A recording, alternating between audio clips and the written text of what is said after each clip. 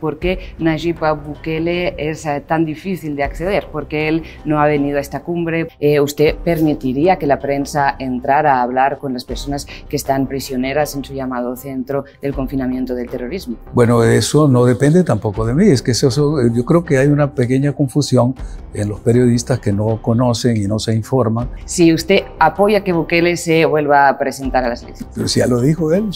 ¿Ya él anunció?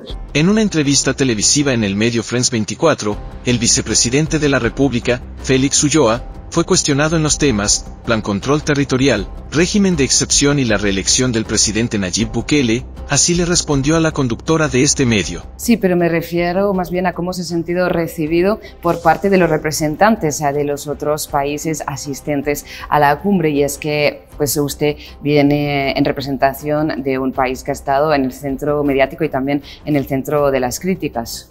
Bueno, de las críticas de algunos medios tendenciosos el País de España es un periódico que tiene una campaña permanente contra el presidente Bukele y contra su gobierno, pero al revés, hemos tenido la mayor aceptación en todas partes, eh, aquí en Dominicana, en Chile, en Argentina, en Uruguay, donde hemos estado recientemente, estuvimos en la cumbre CELAC, y en todas partes hemos tenido un, recibimiento excelente. De hecho, esta, ayer o antier estaba el director de la Policía Nacional Civil de El Salvador, en Chile, en una reunión de Interpol, donde se le llamó para que fuera a compartir la experiencia de nuestros países. O sea que las críticas que siempre van a haber es una crítica minoritaria de los sectores minoritarios que dan eco a las críticas de los grupos minoritarios en El Salvador, que son parte de la oposición política. Entonces eso es natural.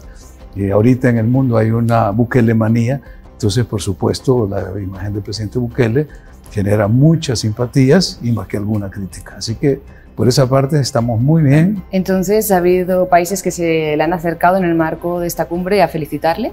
Bueno, no era ese el objetivo porque no, no, estamos acá para estar haciendo relaciones públicas.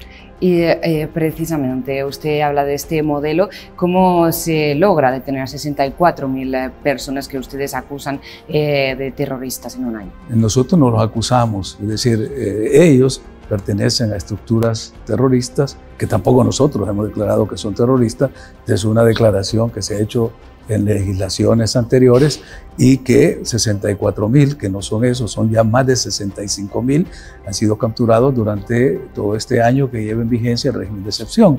Y la forma de capturarlos, pues como actúan los cuerpos de seguridad, es decir, tenemos una base de datos en la cual hay no solo eh, el perfil de los terroristas, de los criminales, sino que también la información necesaria para poder ir a las regiones, a las zonas, a las comunidades donde ellos aterrorizaban a la población. Entonces se ha llegado, se han hecho las capturas masivas, porque capturar más de 65 mil personas en un año es una tarea y una operación de magnitud que ningún otro país en tiempos de paz la ha realizado. Y sobre todo sin pagar consecuencias eh, graves de decir que han habido enfrentamientos, que han habido muertos, porque la operación ha sido impecable, las fuerzas del orden han llegado con los listados de las personas directamente capturarlos y los que han huido o han escapado, la misma población, ya que confía de nuevo en las fuerzas del orden, nos ha dicho dónde se esconden, nos han indicado para dónde se han ido. Em, pero usted habla de un trabajo que califican de impecable, sin embargo, que ha recibido eh, pues, muchísimas críticas por las vulneraciones que supone de ciertos derechos fundamentales. Y es que hay unas 3.500 habeas, habeas corpus, por ejemplo, eh, pendientes de resolver. ¿Qué le dice a los familiares de estas personas? Bueno, yo no le puedo decir nada porque no lo han presentado la habeas corpus al gobierno. Es el eh, representante de un gobierno que es el que ha aplicado este régimen de excepción. Sí, pero los habeas corpus se presentan ante la Corte de Suprema Justicia. Es la justicia la que va a resolver. Y este, cuando tú dices hay muchas, no sé cuáles son muchas, porque yo las que he oído son de dos o tres ONGs eh, internacionales que hacen eco de las ONG de El Salvador que reportan estos casos.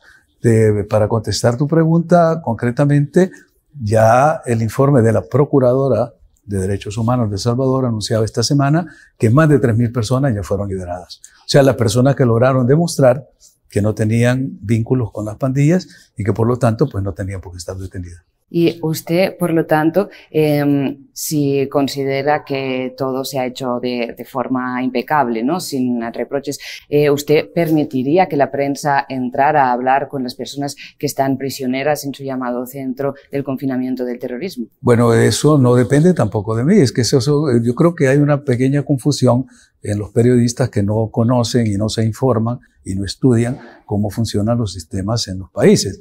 En este caso, los detenidos están bajo las órdenes de los jueces y hay varios tipos de jueces. En este caso hay jueces de instrucción, estos son jueces penitenciarios, son ellos los que controlan el régimen de cómo están los detenidos, o sea, no es el gobierno. O sea, el gobierno no puede... El gobierno no tiene nada que ver cuando los prisioneros pasan a la orden de un juez por lo que estamos hablando, ¿no? Siento que usted está pues muy convencido del que es el plan de control territorial de este eh, régimen de excepción, a pesar de, pues eso, ¿no? Recibir muchas críticas de estar en el centro de atención mediática. Pero muchas críticas, cuando tú dices muchas críticas, quisiera que lo precisara, porque yo te puedo decir, no hay ninguna crítica, entonces estaríamos en percepciones. Yo creo que hay algunas críticas de algunos críticos que critican todo lo que hace el gobierno. Y es entendible que una oposición siempre internacional, hablamos de Human Rights Watch, hablamos de gobiernos. Dos, esas dos. El de Colombia. Esas dos ONGs, esas son las dos ONGs. Por eso no son muchas, son dos, las tenemos identificadas, porque no hay más, son esas dos. Entonces, no, mira, lo que sucede en estos casos es, primero, no es que estamos convencidos de que el plan control territorial va avanzando. Estamos en la quinta etapa del plan, son siete. Sino que, y es lo más importante, más que lo que diga Juan Papi en Washington o la señora que está en Amnesty en Londres, lo que dice la comunidad es nuestras, la gente que se siente liberada, que estuvo sometida a un régimen brutal, donde las asesinaban, donde tomaban a, a sus hijas como jainas. ¿Sabes qué es una jaina? Son, son esclavas sexuales que las iban a sacar de las casas y las tenían en las pandillas. La gente ahora se siente totalmente liberada, complacida y agradecida con el gobierno. Por eso es que el 92%, según la última encuesta, está respaldando eso. Entonces, ¿qué me estás repitiendo tú? Lo que dice el margen o la parte marginal de las opiniones, porque si tú consultas al pueblo salvadoreño, no hay críticas hay reconocimiento y gratitud para el gobierno y para este plan. Usted va en, por distintos países en representación ¿no? de su país. ¿Por qué Nayib Bukele es eh, tan difícil de acceder? ¿Por qué él no ha venido a esta cumbre? ¿Por qué, digamos, usted es la persona a quien nos eh, debemos eh, referir si queremos hablar de lo que sucede en El Salvador siempre? ¿Qué te puedo decir? Él me delega, tiene confianza y todas las cumbres me toca asistirlas a mí. Esta es una división del trabajo. Él está atendiendo realidades importantes, urgentes en el, interior del país. ¿Usted apoyaría que eh, Nayib Bukele se retirara seis eh, meses antes de las elecciones para volver a representarse eh, a los comicios y usted quedar en funciones durante ese tiempo? Me está preguntando si yo aceptaría que se cumpla la Constitución bueno, que suceda eso, que se queda en función de seis meses y que él se volviera a representar. Eso, eso, eso está en la Constitución, pues te digo, hay un artículo, que es el artículo 152, numeral 1 de la Constitución, que es la norma que habilita al presidente para que se pueda presentar a un segundo mandato, siempre y cuando se retire seis meses. Pero la Constitución no habla de Bukele precisamente. No, no dice. si usted apoya que Bukele se vuelva a presentar a las elecciones. Pero si ya lo dijo él. Ya él anunció y, yo por supuesto. Síguenos en Mágico TV y activa la campanita de notificaciones.